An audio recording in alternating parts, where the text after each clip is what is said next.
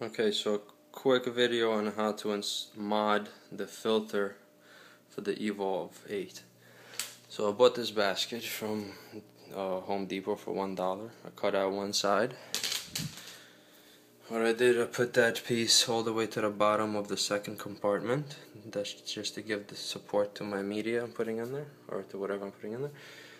Now you get this pad, which is uh, called right size bonded filter pad so that's gonna be your layers and I kind of make like a hamburger so the first layer you take that you stuff it in there all the way to the bottom till it goes all the way to the bottom on top of our thing then on top of this you're gonna put a bag of uh, ChemiPure or whatever you like to use uh, ChemiPure Elite I'm just a beginner, so this is what I was told to use. I don't know.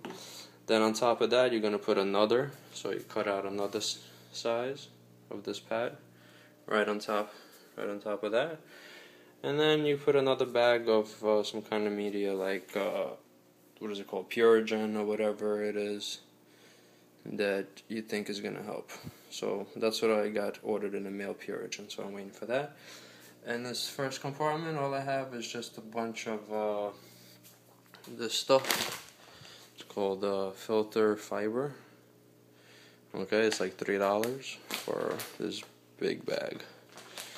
So yeah, that's how you mod it. Hopefully everything will be uh, working properly. This is my tank on day like 22. I still have nothing in there. Okay, really starting to get kind of annoying, but this is uh, it's what it is. All right, I'll keep you updated. Peace out. Oh, and the light for all of you who are interested, you will need to change the light if you want to have uh, like a bunch of nice corals that require high light.